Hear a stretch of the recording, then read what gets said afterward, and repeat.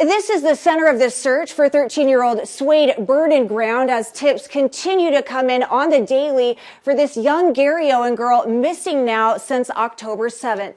Everything here at the Incident Command Center meticulously outlined as crews continue to investigate. Or is it by that old homestead? As soon as leads come in, this search and rescue team, comprised of multiple agencies and volunteers, clears them and moves on. A process of elimination tracked via paper whiteboards, printed maps, and a passionate team. Swade, please come home. Let your parents know that you're safe. We'd like to have you home. Your family loves you. They want you home.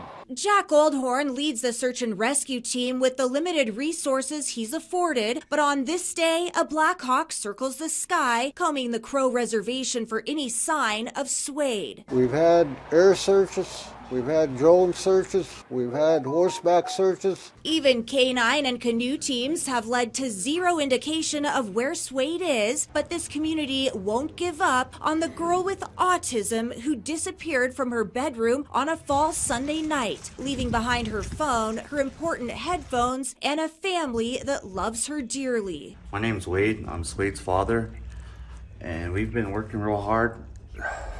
Some leads, according to family, like her phone, handed off to the FBI for agents to recover recently cleared text messages and phone calls, as well as investigate one additional phone that may be the last person on record Swade spoke with before vanishing. Today, we are going to continue our search on this side of the highway. Montana's highways are sprinkled with missing and murdered Indigenous people billboards as families face the reality that their loved one is one of 194 missing persons statewide, 55 of those Indigenous, a disproportionate percentage of the missing population. You never think that this type of thing will happen to you. These are things you uh, listen to on podcasts and things you watch on TV. In Garryowen, Diane Parker, MTN News.